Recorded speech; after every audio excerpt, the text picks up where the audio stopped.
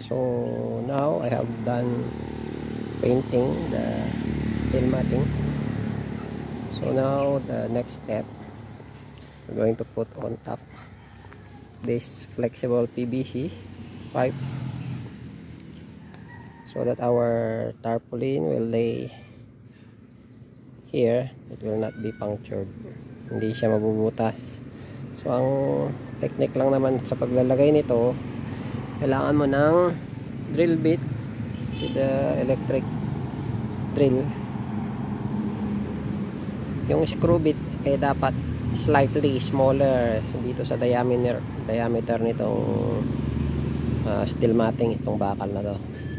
Para pagka ipinasok mo yung kuan medyo kakapit siya. Pag yung medyo malaki ang nagamit mong drill bit loose siya although ubra pa rin yun pero kailangan mo siyang itali dito.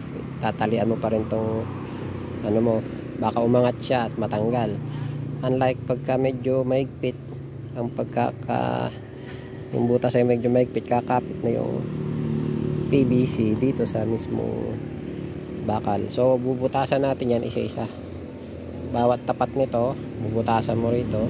Susunod susunod so ang technique ko hindi ko na kailangan sukatin yung ano distansya.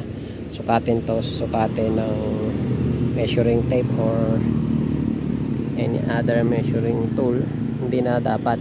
Kasi magkakaiba naman talaga ng distansya yan. Depende depende minsan medyo maluwag.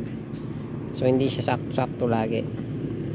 So ang gagawin ko lang ang style na ginagawa ko ay yung unang butas halimbawa ito tapat dito ako para ma mamaya ma yung dulo dulo ay hati siya.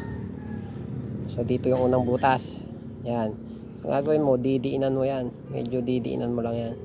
Magkakaroon ngayon yan ng marking dito sa ilalim ng PVC so didiinan ko na.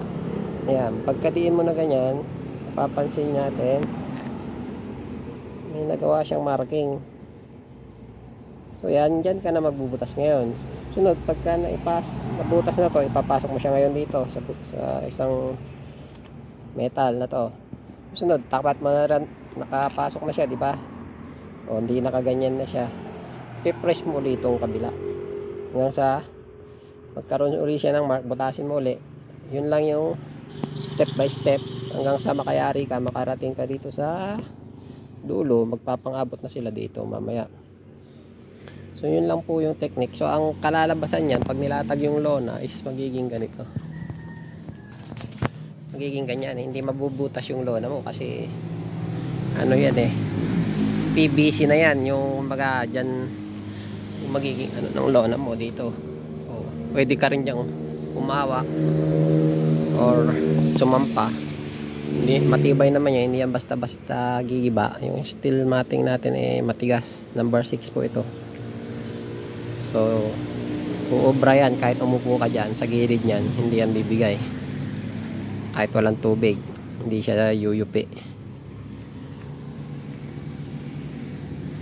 So yun lang po yung update natin.